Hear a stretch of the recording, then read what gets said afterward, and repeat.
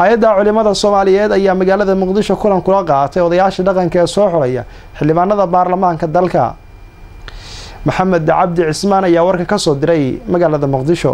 Kulankan ay soo qabanqaabiyeen hay'adda culimmada soomaaliyeed ayaa waxa ay ku wacyigelinayeen odayaasha dhaqanka soomaaliyeed waxaana ka soo qaybgelay guddoomiyaha hay'adda culimmada soomaaliyeed iyo weliba xubno ka tirsan culimmada madaxda dhaqanka soomaaliyeed wuxuuna muhiimadiisu ahayd kulankan sidii odayaasha dhaqanka ee soo xulaya xubnaha baarlamaanka in ay ka fogaadaan laaluush.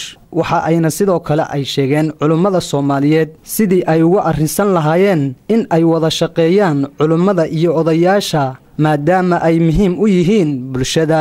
Ugu horreyn waxaa halkaas ka hadlay sheekh maxamed yaasiin waxa uuna ku dheeraaday mas'uuliyadda saaran odayaasha dhaqanka soomaaliyeed qolyo reer hebel abaa meel ma artay waxoogaa iyaga wax uun beeshooda ku sasaabsan. Wax iska tirtiri waan maqla laakiin odayaashii soomaalida oo kala duwanaa qabaa'ilka iyo gobollada kala duwan ka kala yimid baa intay dhibaatada dareemeen shireen. War guud oo shiraa arrintaa ku saabsan soo saareen.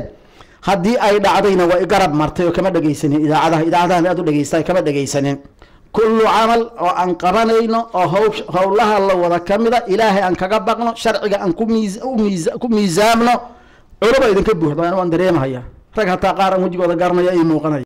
Sidoo kale waxaa iyaguna halkaas ka hadlay qaar ka mida odayaasha dhaqanka.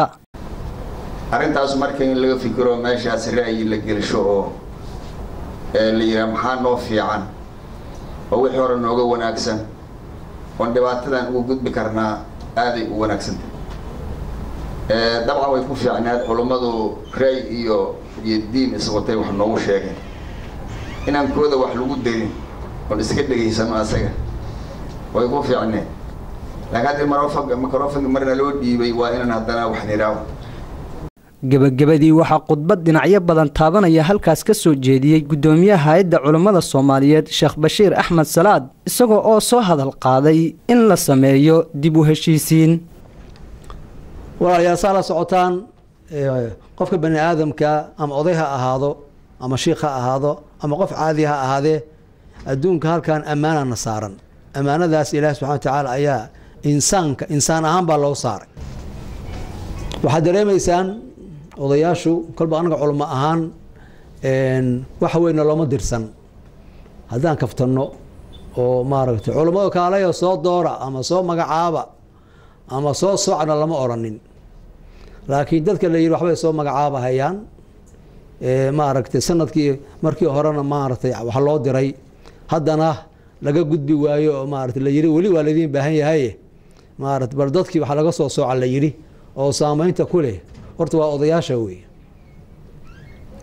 suldaankooda ogaaskooda caaqilkooda saameyn buu ku leeyahay dadka dadka loo soo soocahayo marka midda ayada ah oo xaggiina la soo fiirinayo culummadaa soo fiirinaysa dadkaa soo fiirinaya beesha caalamka idin fiirinaysa.